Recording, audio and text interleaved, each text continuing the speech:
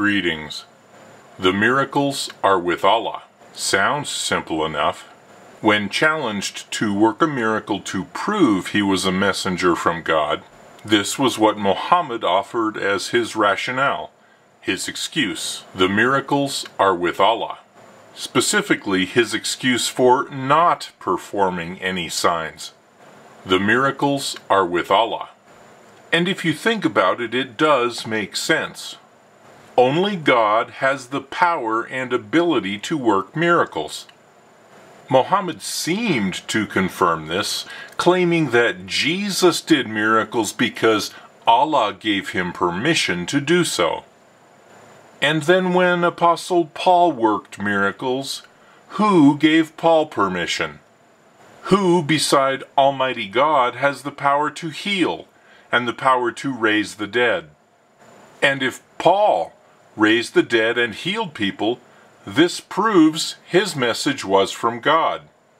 Do you believe the miracles are Allah's or not? Let's read a particular account in Acts 13. As they ministered to the Lord and fasted, the Holy Ghost said, Separate me, Barnabas and Saul, for the work whereunto I have called them. Now, the claim of Islam, especially Deedat, is that Muhammad is the Holy Spirit foretold by Jesus. Well, that would seem to be a problem because 500 years before Muhammad, the Holy Ghost or Holy Pneuma spoke. The Holy Spirit said to separate Barnabas and Paul or Saul for a specific mission, for the work whereunto I have called them. Wow, that seems to be another problem with the claim that Muhammad is the Holy Spirit.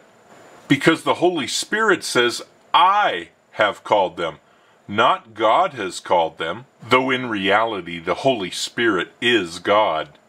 But if you believe Islam's false teaching, you must agree that Paul was a messenger of Muhammad.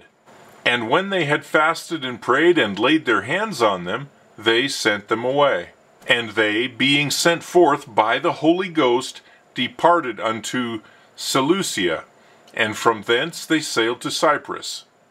So just keep in mind that Islam tries to claim Mohammed is the Holy Ghost. I know, I know, it does not pass any kind of sanity check. But if you call yourself Muslim, keep asking, how could Islam try and claim such an error? And when they were at Salamis, they preached the word of God in the synagogues of the Jews, and they had also John to their minister. Now here is where the story begins to get interesting. And when they had gone through the Isle of Paphos, they found a certain sorcerer, a false prophet, a Jew whose name was Bar Jesus. So keep that in mind. This Bar Jesus person was a false prophet and a sorcerer, which was with the deputy of the country, Sergius Paulus, a prudent man, who called for Barnabas and Saul and desired to hear the word of God. So the deputy of the country wanted to hear the word of God. And when you want to hear the word of God, who tries to get in your way? Yeah, Satan. Who do you think was opposing the man who wanted to submit to God? You got it, Satan. But Elymas the sorcerer, for so is his name by interpretation, withstood them, seeking to turn away the deputy from the faith. Remember, this sorcerer is trying to keep the deputy from submitting to the Word of God, to keep him away from the faith. Then Saul, who is also called Paul, filled with the Holy Ghost, set his eyes on him, meaning the sorcerer. Remember, Paul was sent by the Holy Ghost, and now the Holy Ghost fills Paul. There really is no way on earth to claim that Mohammed suddenly filled Paul. And Paul said, O full of all subtlety and all mischief, you child of the devil, you enemy of all righteousness, Will you not cease to pervert the right ways of the Lord? Wow, this is Paul rebuking the false prophet who is perverting the right ways of the Lord. I bet you Muslims did not know that Paul rebuked false prophets like this. You probably have been taught that Paul's message was false. Well, pay attention to what happens next. And now, Behold, the hand of the Lord is upon thee, and thou shalt be blind, not seeing the sun for a season. And immediately there fell on him a mist and a darkness, and he went about seeking someone to lead him by the hand. Wow! Paul, filled with the Holy Ghost, cursed the false prophet. Paul cursed him and said he would be blind for a time for a season.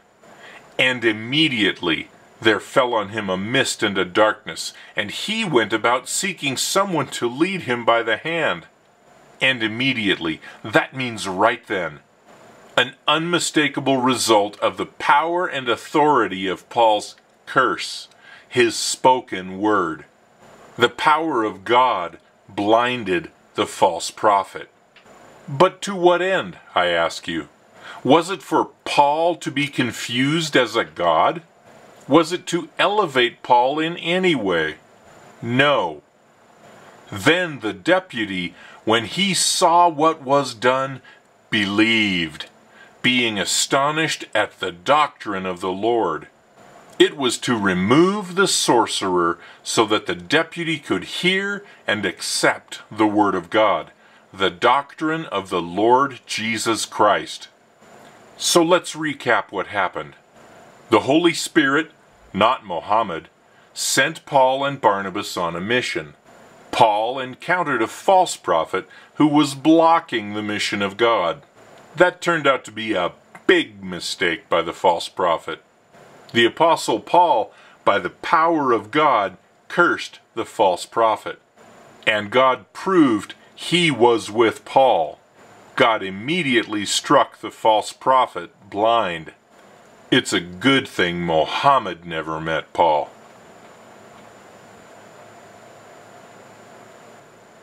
So we see that the Holy Spirit sent Paul. And we see Paul spoke with God's power. Let's see what other miracles Paul worked.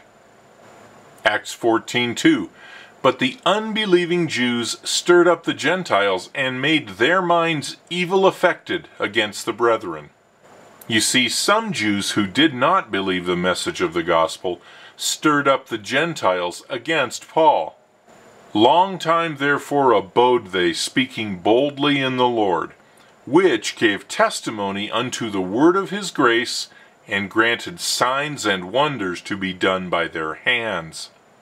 But Paul stayed there a long time, speaking boldly in the Lord, meaning in the power of God, which gave or who gave testimony unto the word of his grace, and granted signs and wonders to be done by their hands.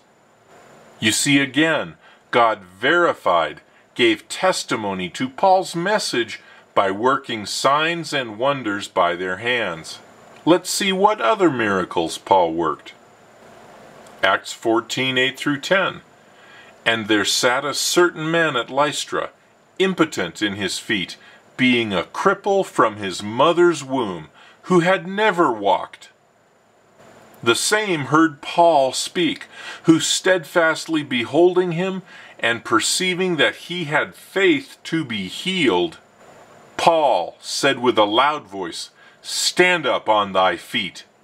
And he, the lame man, leaped and walked. So Paul commanded the lame man, a man with crippled feet from his birth, stand upright on your feet. And he leaped and walked. So when Jesus healed the lame man, Mohammed taught it was by Allah's permission, because Jesus was sent by God and had a message from Allah. And now we see Paul teaching the same message as Jesus, with the same power as Jesus, healing the same way as Jesus. And Islam dares to speak against Paul and claim his message from God is false? I think it becomes clear that Islam has no respect for God's messengers, for those God proves he endorses. If the miracles are with Allah, and if Paul works the same miracles as Jesus, then Paul spoke for the same God and the God Jesus was sent by. And for any in Islam to speak against Paul, you are cursing God. Remember, only God has the power and ability to work miracles. God does not have to work miracles for Paul if God did not send Paul. May the Spirit of God open your eyes to the light, your ears to the truth, and your heart to His Son, the Lord Jesus Christ. Amen.